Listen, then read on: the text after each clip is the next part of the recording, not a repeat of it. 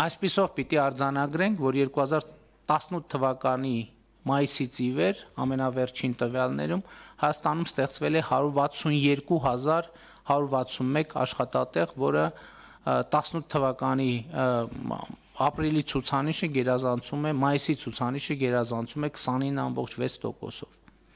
2022 թվականին միջին ամսական անվանական աշխատավարձը նախորդ տարվա նկատմամբ աճել է 15.5%-ով։ Սա շատ կարևոր ցուցանիշ է գնաճի պայմաններում, որովհետև հիշում եք, որ երբ որ եւ կ ូវ իդը եւ հետագայում 2022 թվականի հայտնի process-ները սկսվեցին, ամենամեծ վտավախություններից մեկը հենց գնաճներ, թե ինչքանով դա սոցիալական նեգատիվ ազդեցություն կունենա։ Բայց մենք տեսնում ենք, որ աշխատող մարդու համար մեր քաղաքականություններով մենք կարողացել ենք գնաճը ոչ միայն այսպես կոմպենսացնել, այլև աշխատավարձի աճ ապահովել եւ ֆինանսների նախարարության տրամադրված տեղեկատվության համաձայն իրական աշխատավարձը աճել է 6.3%-ով։ Սա ինչ է նշանակում։ Սա նշանակում է, որ եթե գնաճի ազդեցությունը զրոյացնենք, դնենք մի կողմ եւ տեսնենք ինչ աշխատավարձի է տեղի ունեցել, հենց դա իր աշխատավարձի իրական աճն է։ Այսինքն բացի գնաճը, որ մարդիկ իրեն ծախսերը սովորական անելից անելով 8.6% ավելի գումար են ծախսել գնաճի բերումով, բացի սրանից եւս 6.3%-ով 2023 թվական 22 թվականին աշխատավարձի աճ է գրանցվել, ինչը շատ կարևոր ցուցանիշ է։ Նաեւ սա մեր սոցիալական քաղաքականության կարևոր բաղադրիչներից է, որտեղ գիտեք սոցիալական քաղաքականություն ասելով մենք սովորաբար ավանդույթի ուժով հասկանում ենք նպաստ թոշակ, ինչը իհարկե կարևոր է, բայց կարծում եմ սոցիալական քաղաքականության կարևոր բաղադրիչ է նաև թե աշխատող մարդու կյանքը ինչով է բարելավում եւ եթե հիշում եք մենք 2018 թվականին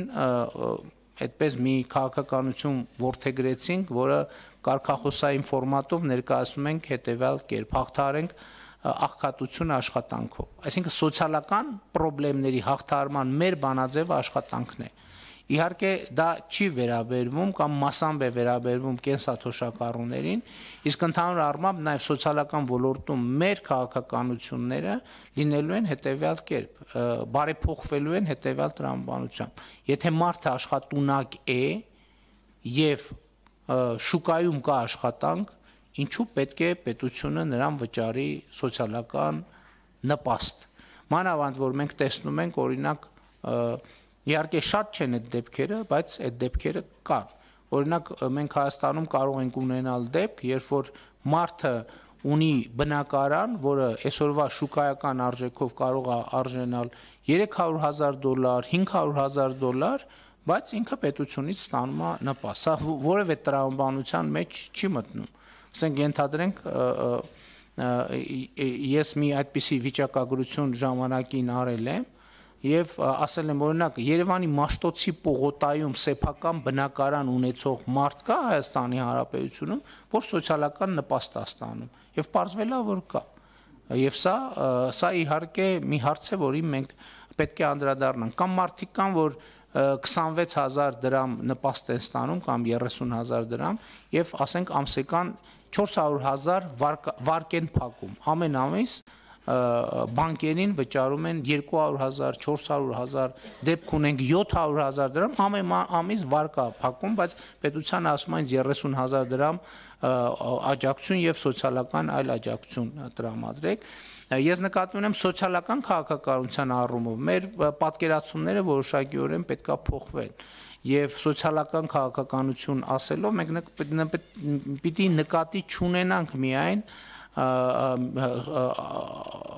թոշակները եւ նպաստները չնայած թոշակներին անդրադարձ հիմա կունենամ